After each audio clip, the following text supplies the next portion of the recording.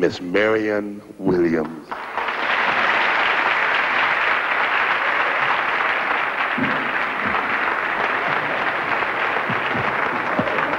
When was Jesus born? The last month in the year.